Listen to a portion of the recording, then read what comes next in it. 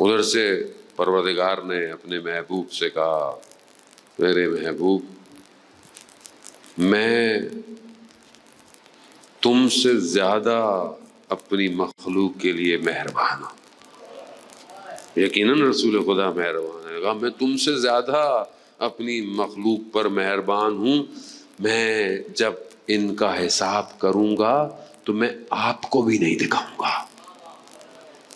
तो खुदा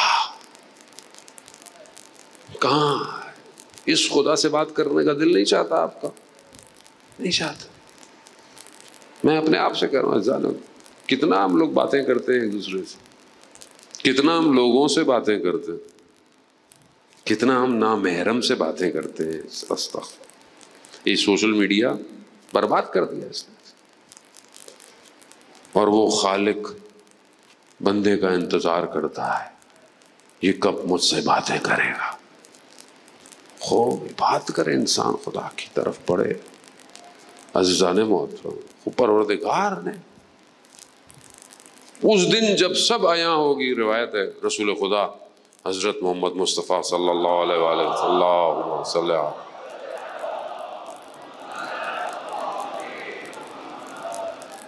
अपनी बेटी के घर आए, देखा कि बीवी परेशान है।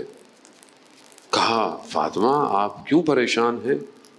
कहा, बाबा, मुझे कयामत का मंजर परेशान किए हुए। कहा, आपको कैसी परेशानी?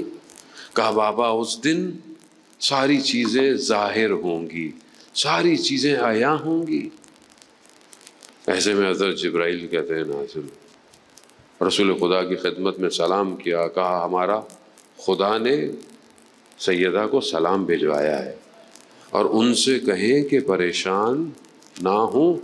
हम इनके चाहने वाले को क़यामत वाले दिन नूर में रखेंगे। नूर में रखें।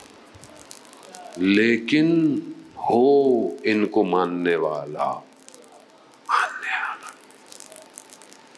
कहना आसान है। मानना मुश्किल। जबान से कहें, हम मानते हैं अमल मुखालिफ झूठ कैसे करेंगे आप? जाना मोहतरम। बस यही है। वली जमान जो लोग पहचान गए, वो कुर्बान हो गए। जो नहीं पहचाने, वो घूमते रहे। आज जिस दौर में हम ज़िंदा आए ये दौर बहुत पेचीदा है। अब जंग जो है, वो एक जंग नहीं है कि मतलब दुश्मन आए और आपके शहर पे, मुल्क पे हमला कर दे। हाँ। अब जंग जो है, वो मुरक्ब है। यानी बहुत सारी जहत से जंग लड़ी जा रही है। यानी सारी टेक्निक सारी स्ट्रैटेजीज काम एक ही साथ। पहले जंग लड़ती थी, मुल्क आया, इधर मारा, उधर मारा, इधर world war one world war two ऐसी हुई कौन आई, ठक ठक मारा। अब ऐसा नहीं है। अब एक ही टाइम पर सारी चीज़ें इस्तेमाल होती हैं। मैंने सामने से भी मार रहे हैं यूक्रेन की वॉर उनके सामने सिर्फ़ वॉर नहीं है, प्रोपोगंडा वॉर भी है, मीडिया वॉर भी है, साइबर वॉर भी है, डेटा वॉर भी है, इंटेलिजेंस सारी जंग एक साथ जुड़ी हुई है। यानी जब यूक्रेन पे हमला हुआ तो क्या दिखाया उसने? रशिया जुल्म कर रहा है। रशिया ने ये कर दिया, रशिया ने वो कर दिया तो इधर जो जमन में इतने अरसे तुम मारते रहो, ये नहीं दिखाया तुमने कभी? ये जंग नहीं दिखाई कि यहाँ जुल्म हो रहा है, वहाँ क्यों दिखा रहे हो? खूब क्योंकि मीडिया वॉर है, सारी स्ट्रैटेजीज हाथ में उनके। जंग को इस तरह दिखाया। अब ये मसला ये कि ये हमारे टीवी चैनलों में भी लाइव जा रहा है। कल से मैं मजलिस पढ़ना बंद हो जाएगा मेरे ऊपर। सलवाद भेज दे, मोहम्मद वाले मोहम्मद।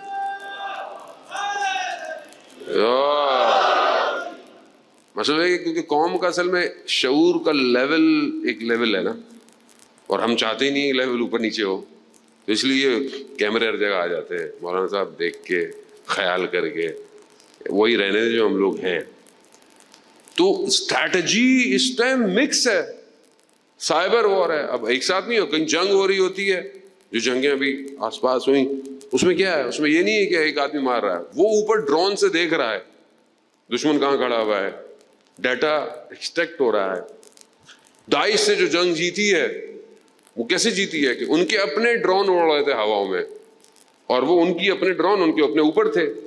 उनको हाईजैक किया है। जो तस्वीरें वो खुद दिखा रहे थे, वो इधर नज़र आ रही थी। जंग अब तब्दील हो गई है। जिसके पास ज़्यादा डाटा है, वो जीत जाएगा। जिसके पास ज़्यादा इंफॉर्मेशन है, वो जीत जाएगा।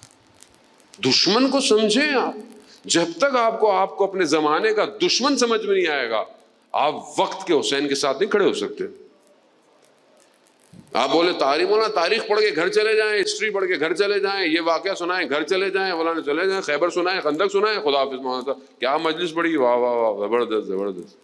आप वाह वाह करके घर चले जाएँ, मौलाना मोटा सा लिफाफा लेके अपने घर चले जाएँगे। वली जमान तनहा है, तनहा रहेगा। उसे हुर चाहिए जमाने के। और उसके लिए दुश्मन को पहचानना पड़ेगा आपको। सफ में कौन है? कैसे लड़ना है? कैसे तैयार करना है?